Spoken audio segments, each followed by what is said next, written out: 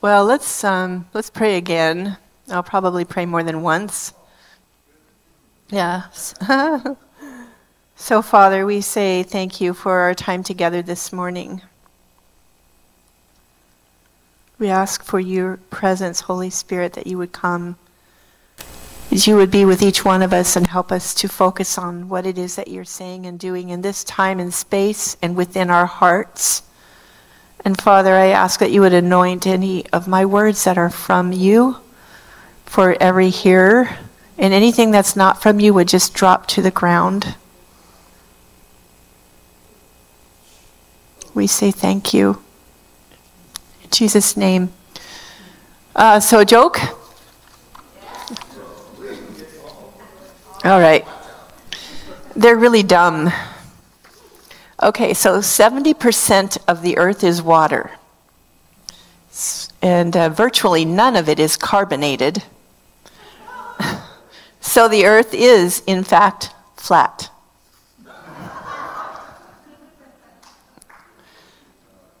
My first job was at an orange juice factory. Sadly, I got canned. I couldn't concentrate. All right. What do you call a can opener that doesn't work? A can't opener. I see some people still trying to figure that one out. Oh, brother.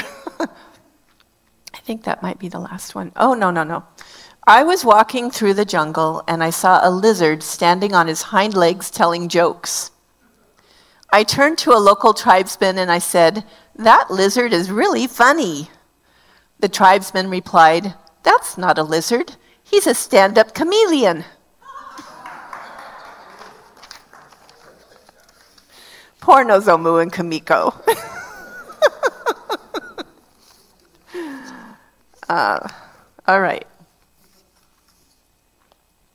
So Miku already read the anchor verse for the message Philippians 3. Uh, let me look it up. 314 and i'm going to read it.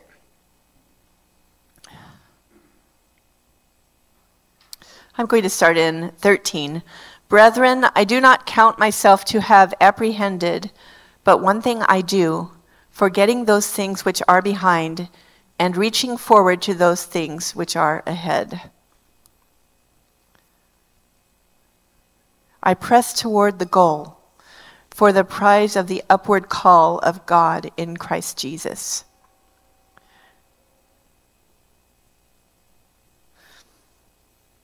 I press forward, forgetting those things which are behind.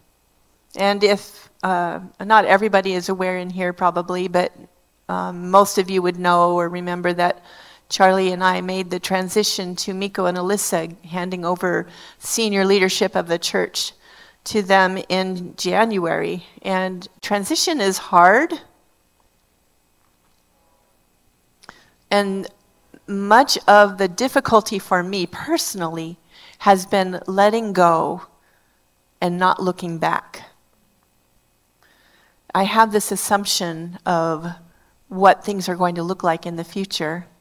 Um, and it's, you know, that's my, that's my picture maybe. I, I didn't really know, so what things am I letting go of? I'm still going to have the same identity, right? I'm still going to have the same jobs, right? I just won't have the same title. But the Lord is taking us through transition, all of us. My transition looks different than yours. So, Father, right now I just pray for your presence to come. And I bind any distractions in Jesus' name from keeping us from hearing your message, keeping me from being able to stay on track. Um, I bind any spirit of condemnation ahead of time, that the words that you have for me to speak would not find a place where the enemy would want to take things and root them in condemnation, but Father, only for conviction and for encouragement the words that I would speak this morning come from your heart to your people. In Jesus' name. Okay. So, first of all, I want to say that this message is not aimed at any one single person. I didn't have any person in my mind as I was going, oh, this person really needs to hear this message. If anything, it's to me. So, can you just take yourself off of that place where it might be you? She might be talking about me. No, just let that go right now. But this season for me has been forgetting or letting go of what's behind. And for some of us, that may uh, be your personal history and what walking with the Spirit looks like. Some of you, that might be your past relationships and things that you haven't been able to let go of about that person or that group of people or that other church that I used to go to. Um, some of you, that could be um, disappointment. Anybody been disappointed? Yeah? Okay. So we're forgetting what is behind according to that verse in Philippians 3:14 and we're pressing on to grasp a hold of what it is that he has for us ahead. We're pressing on and then the final section of the message is going to be faith by activation. So yesterday I was driving in my car. I had a passenger in the back seat, and sadly, it was a very long ride. And this poor woman, I mean, it was tragic what she was sharing with me, but you could tell that she was living in the testimony of what had been happening in her life. So she said, with this, I, will just give you a very short summary that she had a boyfriend that she had been living with, and um, and he was lazy, and she was paying all the rent, and he was only giving her this much money to share the rent, and he wouldn't do anything, and he was going through her stuff and stealing her jewelry, and I mean, it was just, and, and so I'd go, I went driving by New Song, and I said, you know, if you're looking for community, because we'd already had that part of the conversation, she really needs to find a place of community. That's a good place to start. And she acknowledged, oh, yes, I really need Jesus in my life because my boyfriend, she couldn't get past what had been happening. The fact that she's let him go and she's sending him on his way, but she was not going to be able to send him on his way when he was still living in her head, still living in her heart.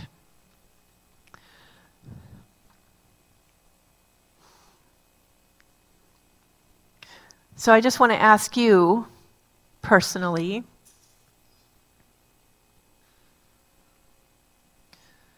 um, as Charlie and I are going through this transition, as Miko and Alyssa are going through this transition, as you all are going through this transition, as you all are going through your own personal transitions, what is it that you're supposed to be letting go of? We're actually going to just take a moment in prayer. I'm going to ask the Lord if there's something personally that you're supposed to be asking the Lord. Ask the Lord, what is it I'm supposed to be letting go of?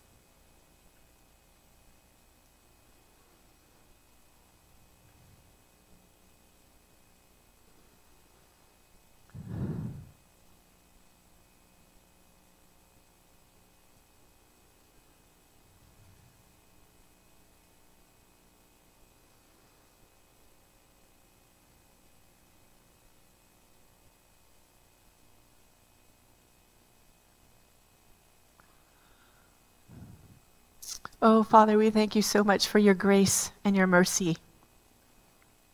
And we trust you above all others. And we ask you to help us to let go of those things that are just taking up space that belongs to you in our hearts and in our minds, in our future with you. Thank you. Does anybody want to share? You don't have to. No. Did anybody get something? Yeah, yeah. I think the biggest thing for me going through the transition that we're all aware of now was identity. My identity was the senior leader of Abiding Place. Now I'm just a pastor. But in him there is no just And letting go of being the senior leader allows me to press on to what it is that He's calling me into.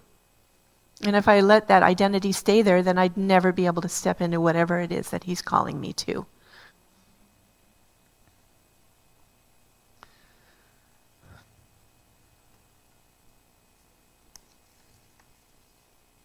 These are some of the things that I came up with about the past. If you can't forget the sins of the past of your own self or others, rehearsing your wounds, your shortcomings, your bitterness toward others that have hurt you, if you can't leave behind the glories of the past and throw your crown down at the feet of Jesus, like it says in Revelation 4:10. And by the way, if it's good enough for the 24 elders, it's good enough for me to throw my crown down at the feet of Jesus. Then there isn't enough room within us to receive the new, whatever that may be. The new marching orders, a new title, a new direction, a new home, a new family. So before I go any farther, I just want to say I am so proud of all of you.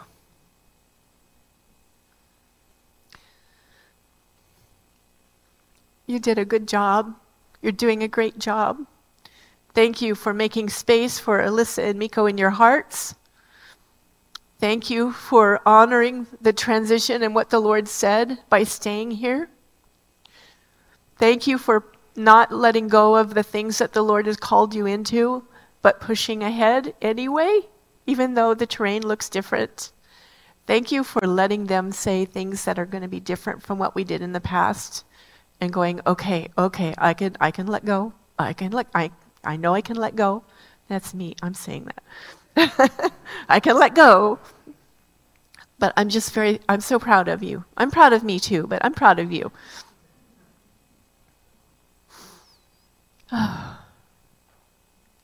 so, the funny thing about pressing on is when you go through times of change and transition where there's change happening around you, there's change happening to you, and you don't know exactly what you're supposed to do. How do you press on when you haven't heard? Does anybody have an answer for that? You wait with expectation.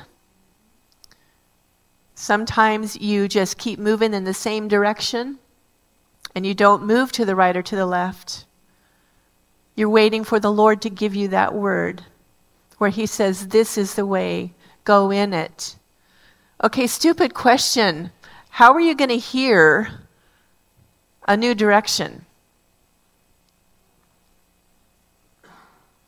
Part of Robin's thing about you wait is you're waiting with expectancy and you are listening. You can't be listening if you're not spending time with the Lord, right? Uh, I want to, I'm really, I'm totally out of the flow of what I have typed up here. I have no idea where I am, but I want to go to. Um,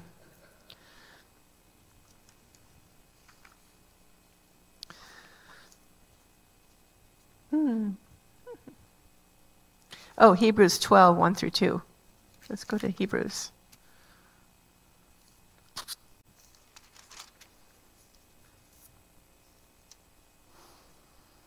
Therefore, we also, since we are surrounded by so great a cloud of witnesses, all of us are a wonderful cloud of witnesses, let us lay aside every weight and the sin which so easily ensnares us, and let us run with endurance the race that is set before us, looking unto Jesus, the author and finisher of our faith, who for the joy that was set before him endured the cross, despising the shame, and has sat down at the right hand of the throne of God. Oh, the wonderful cross. And then in my Women of Destiny Bible, there's a little devotional. And I wanted to read a part of this devotional. And if you're a man, you can ignore what I say. I hear myself issuing a challenge run after God, seek his face, pray more, increase your devotions, Turn down the radio, enjoy the quiet. But this ultimatum isn't for the ladies in my church or even my Bible study group. It's for me, my walk and my life. Being a woman, and I'm just going to add in there being a man as well. I have always I always have a running list of things to do, goals set, tasks waiting to be accomplished. Anybody carry a list on their phone? Something of yeah, all the stuff that you're supposed to do. How many of you have to go by that during the day and go, okay, did I get that done? Did I get the other done? Anybody? Just me? Oh, okay, good. Um, and then just when I have checked off a few, I realize that I've added more to the list. Oh, I do that every day. It's a never ending list. Thank God that His mercies are never ending as well, grace for the day. But I still hear this small voice Hi, Travis. Hi, Tati. Welcome. so good to see you. But I still hear this small voice, and her name is Cece. Come away. Come spend some time with me. Let's enjoy each other's company. And then it's my choice. Come away or dig deeper into the bottomless list of to dos. Um, which one is easier for you? The list is easier. And sometimes the list is more rewarding, isn't it? Because you get to check it off when it's done.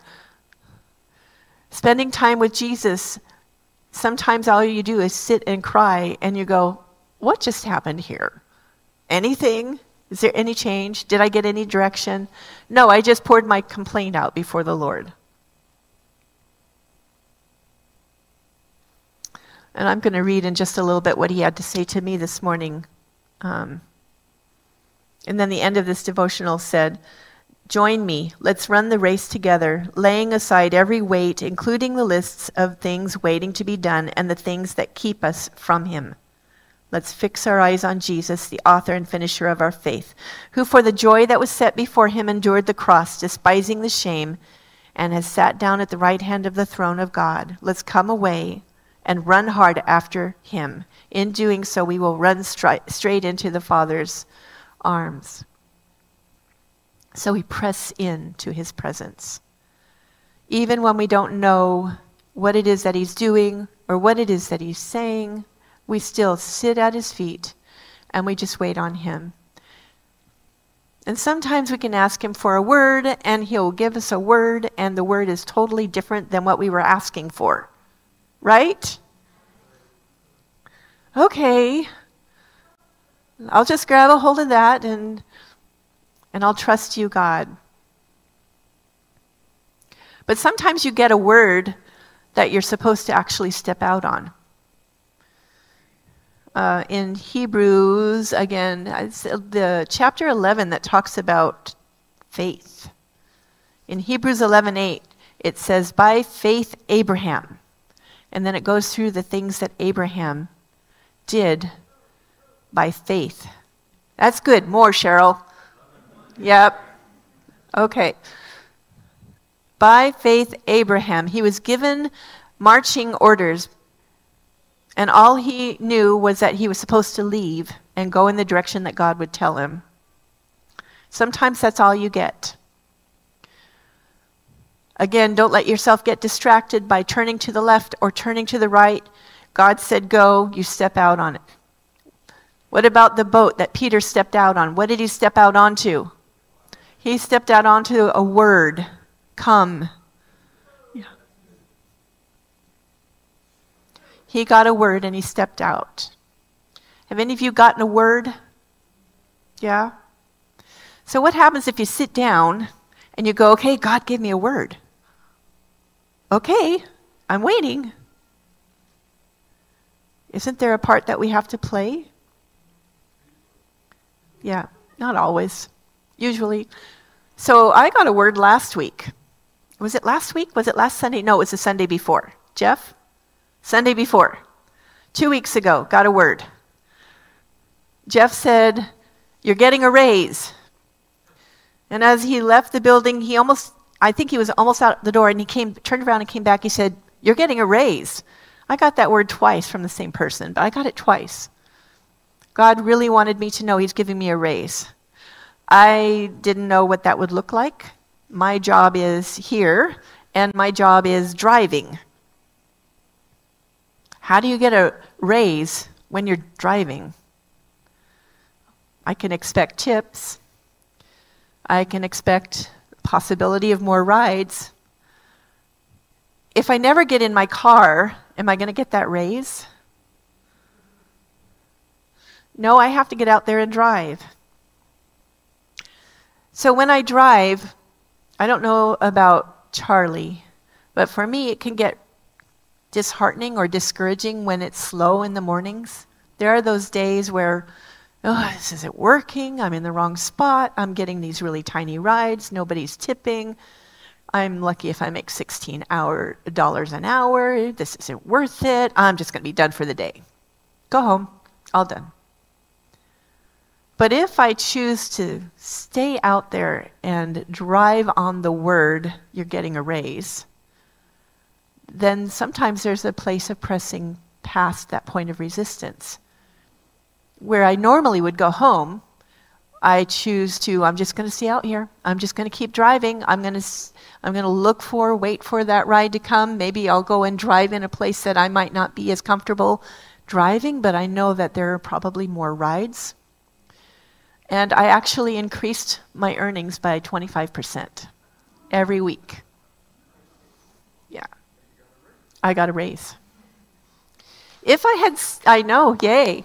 If I had stayed within my comfort zone and not put myself out there and not gone into those places or let the little bit of resistance keep me from driving anymore, I wouldn't have gotten that raise. I wouldn't have received the reward. Now, that's, I, that's a monetary thing, but it was also a faith thing. And faith without works doesn't do anything. I'm sorry. I mean, you can, yes, there is the waiting, but when you get your marching orders, if he gives you a word, you've got to put yourself out there.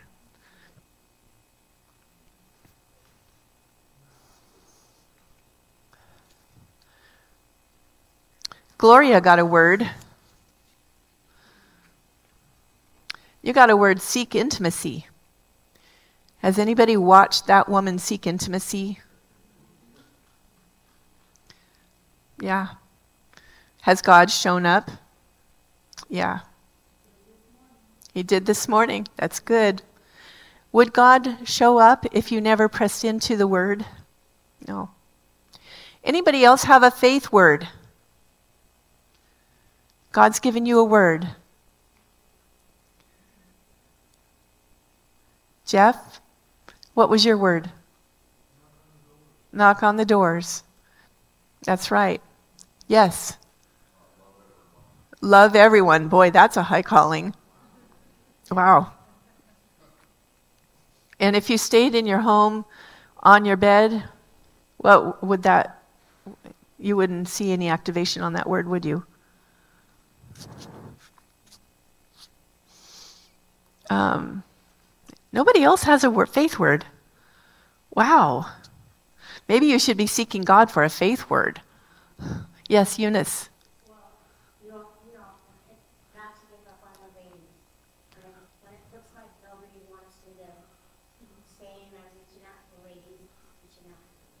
Keep reaching out to the ladies. Yep. Good. Yeah. Yes, Marilyn.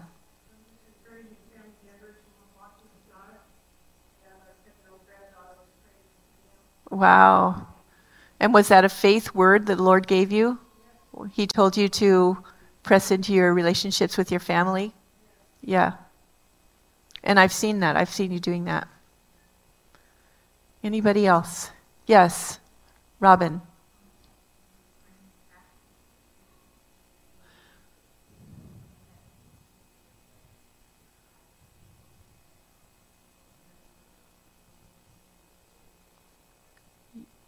I didn't get the first part, but I think that that was about He's told you, bring you back here to open the heavens with worship. And if Robin never worshiped,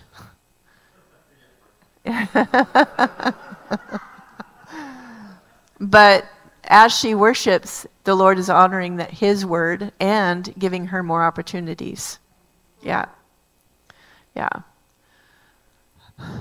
So, uh, Father, we just want to thank you for the words that you give us, the words to anchor our lives on, and the words to give us the encouragement to press on. And I even ask you to uh, remind us right now. I'm not asking just for a new word, but I'm asking you to remind us of the words that you've given that we haven't seen answers to yet. Remind us of those words. Even now in this place, remind us in Jesus' name of the words that you've given us. And walk with us as we choose to step into those words. Show us how we can step into them. In Jesus' name.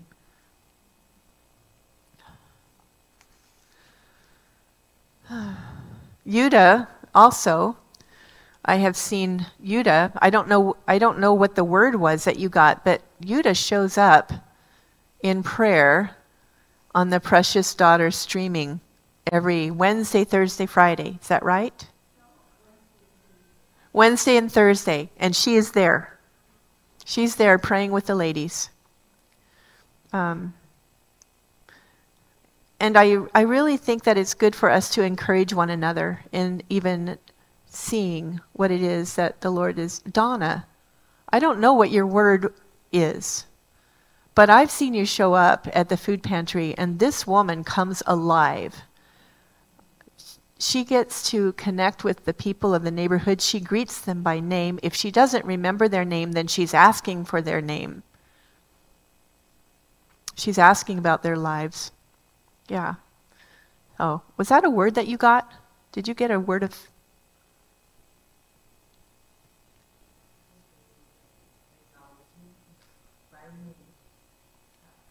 Acknowledging people by name is powerful. That's good. Yeah.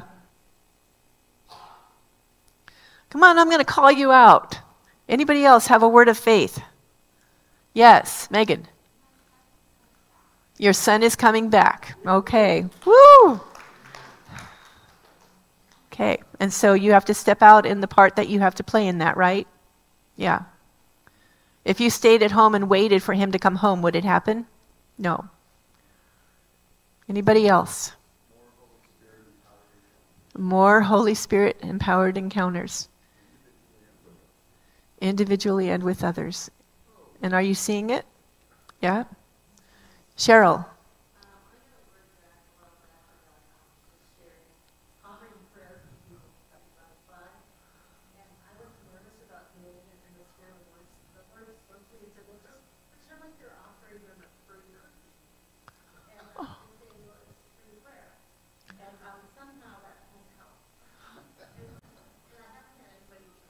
Wow.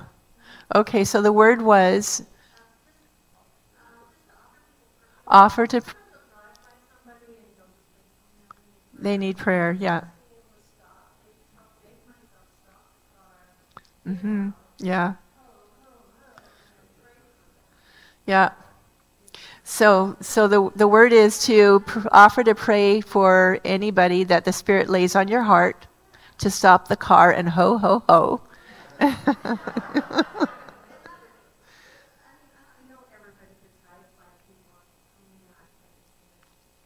mm-hmm. Yeah. Yeah. Offer them a cookie. Offer prayer like you were offering them a free cookie. Yeah, I love that. Yeah. And I love the testimonies. Are, is your faith getting encouraged right now and listening to other people and the, their faith words and, and stepping out on those faith words. Camille, what is your faith word? Yes.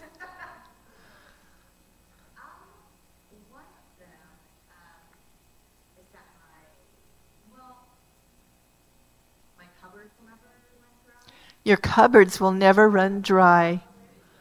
Wow. Wow. Okay. Is there a part that you have to play in that? Like an activation? I mean, I think part of it is faithfulness. Oh. Yes. That's great. Yeah. So trusting the Lord, continuing to give. Yeah. Um, I, I feel my, my faith being encouraged. I do. Um, I, I had a dream a long time ago. And in this dream, I was, I was being sent in as a secret weapon. I had a backpack on my back, and I knew that in my backpack there was a secret weapon, and I was sent into a Japanese concentration camp. And far off away, I could see a Native American concentration camp across a bridge, across a river.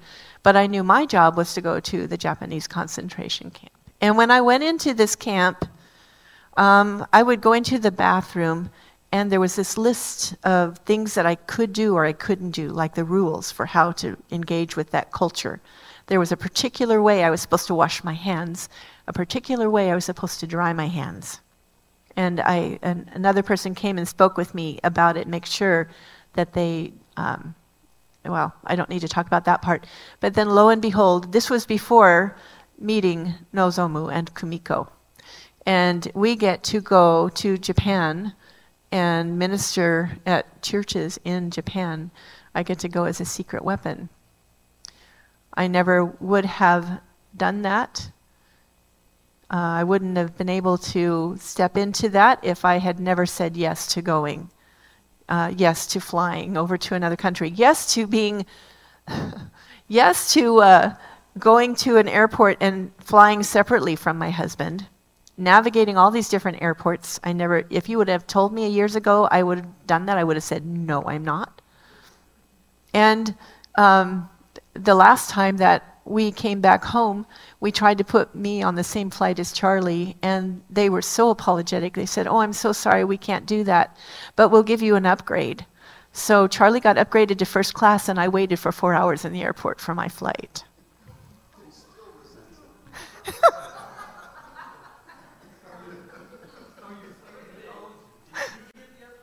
no. yeah. Huh. okay, well, I want to see if there's something. I talked about the no good boyfriend, right? Yep. I talked about the word of faith. I feel like there is one more section. Mm-hmm.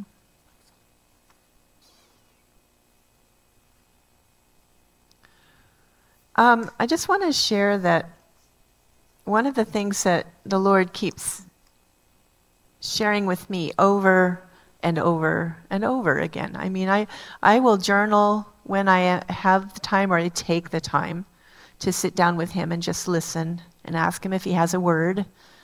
And I'll write something down and I'll read back through it, and there's always something that says, Keep your eyes on me. Always. Keep your eyes on me. Keep your eyes locked on me. Um, and so I want to read just what I heard this morning. And maybe, uh, well, I give you free permission to take this word and grab it for yourself. So put yourself in the language if you, if you are comfortable doing that. My daughter, only you can press into me for yourself. No one else can do it for you, and no one else can take your place in my heart. There is no one else like you for me. There is no one else that brings delight to my heart like you can. So would you come? I have treasures for you, and you're waiting on me. Treasures of goodness, treasures of wisdom, treasures of strength. Press in, press in, press in. I am not hard to find. I am just a breath away. Just think about me, and I am there. Yeah. sure. My daughter, only you can press into me for yourself. No one else can do it for you, and no one else can take your place in my heart. There is no one else like you for me. There is no one else that brings delight to my heart like you can. So would you come? I have treasures for you, and you're waiting on me treasures of goodness, treasures of wisdom, treasures of strength. Press in, press in, press in. I am not hard to find. I am just a breath away. Just think about me, and I am there. So it takes, for me, when I have that spare time, not grabbing my phone, not playing solitaire or looking through Facebook, but choosing to lay it aside. That's my pressing in. It helps when he says things like, There's nobody else that can take your place in my heart. That's pretty amazing. And that's for you too. Nobody else that can take your place in his heart. Nobody else that can fill the spot that only you can fill in his heart. And he has treasures for each one of us. But if we never choose to even activate that part of our faith walk by choosing to trust that he's going to meet us when we turn to him, then we'll never get it. It's personal. You can't do that through your pastor. You can't get there by just listening to worship music but never letting your heart get engaged. So, Father, we just say thank you for your love for each one of us. You mind if I sit down?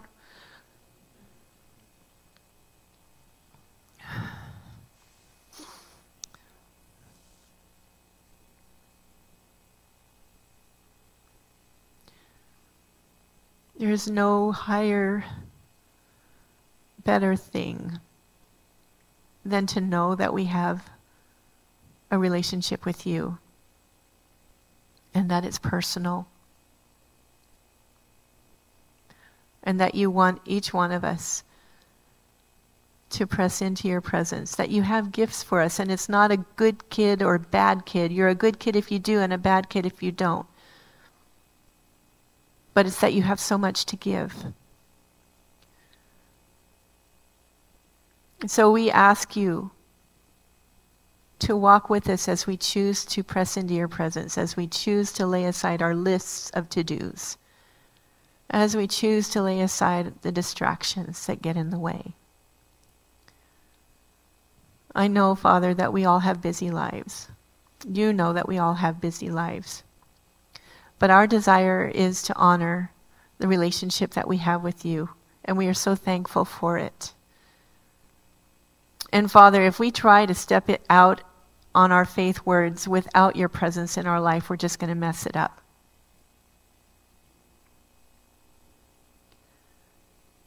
So we ask for your presence to go with us. We ask for the voice that is behind us saying, This is the way, go in it to give us the encouragement that we need to press into the things you've called us to press into and to strengthen ourselves in your presence by just waiting on you to give us the, the strength we need for the next day and the next day.